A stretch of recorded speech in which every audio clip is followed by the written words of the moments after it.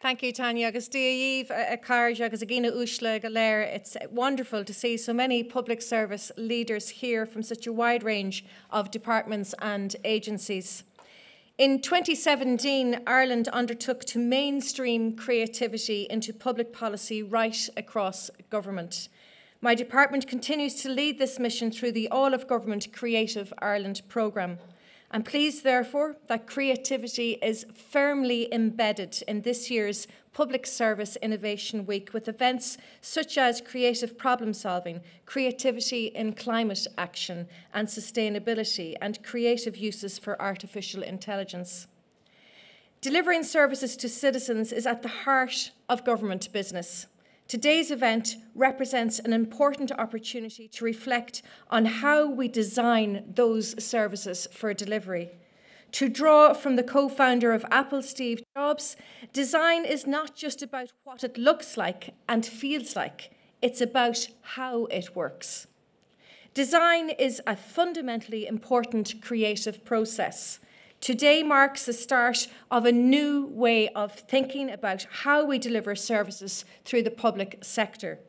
We will hear about better customer experience, better services for the public, and enhanced ways of working for the people delivering those services, goals that are not mutually exclusive. Better design provides a means by which we can offer improved public services, placing people at the centre of our approach. Prototyping ideas before they are launched or finalised. These are vital elements in the delivery of public services. The Civil Service Renewal 2030 strategy, building on our strengths, articulates our government's commitment to deliver evidence informed policy and services. It ensures public views and engagement are factored into the design and implementation of public services. It is only by meeting needs and achieving outcomes that we can expect trust in government by the public and trust in our vital public services. It is time to embed and mainstream this approach. In short, government by design. Today, you will hear about better ways of working and really taking into account the needs of people who use or deliver services from the start. Already across Ireland, there are examples of how a design led approach has generated impact. Internationally, governments have demonstrated that huge gains can be made in efficiency and efficacy of public services.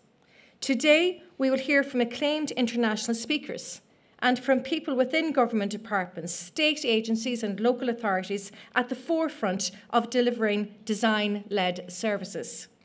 We should take confidence in the work of these forerunners. This design approach is not untested, it is proven to be effective. The strides forward in digitising our services that we collectively took to navigate through the pandemic should give us great confidence in our abilities. We are continuing to make positive strides forward in developing digital products to make the daily interactions with public services easier, not only for the users of those services, but for those working within public services to administer. This conference is part of a wider effort. My officials in the Creative Ireland programme are currently preparing a roadmap for the digital creative industries as part of the programme for government. The design based industries will be a key focus of this roadmap. Design, including graphic, product, and service design, are a key element of Ireland's creative industries. They are more relevant than ever to public services as we live through a fast paced, ever changing, and increasingly digitised world.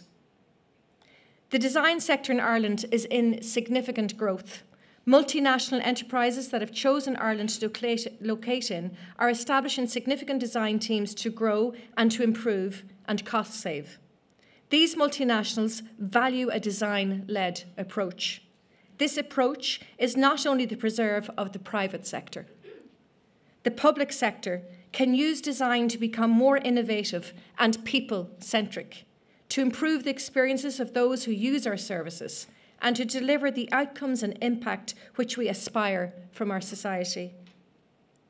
We have in our national design sector talented people who are able to bring out the best in our services. the public service have an opportunity to utilise these specific skill sets to the best advantage. It is why, as Minister, I am keen to support this event, organised in partnership with Minister Michael McGrath and Minister Ossian Smyth, whom you will hear from later. I also wish to acknowledge the important support from the Institute of Designers in Ireland and the Service Design Network Ireland. Today, colleagues, I believe we have reached an important milestone. I am delighted to jointly announce the prototype of principles for designing public services. These principles are part of a suite of initiatives aimed at embedding citizen centricity and user led design in public services. The Department of Public Expenditure and Reform will now begin a process of wider stakeholder engagement to produce an action plan for embedding design techniques across the public sector. I wish to thank the members of the working group for their efforts to put design and the people we we design our services for at the heart of our public service. You will hear from them later. In fact, you will hear from a variety of public bodies, including the Court Service and Garda Síochána, the HSE, and Dublin and Cork City Councils. I am delighted such senior figures as Lou Downe from the UK and Mari Nakano from New York have come to Dublin to share their experiences. Today is a starting point. Not everything will be easy. The problems we need to solve, as we well know, are complex. But design can create simplicity from complexity. It can help us navigate by using tried and tested approaches to ensure that the people of Ireland are at the heart of everything we do. It may mean that we need to be willing to abandon tools and techniques that no longer work and embrace new methodologies.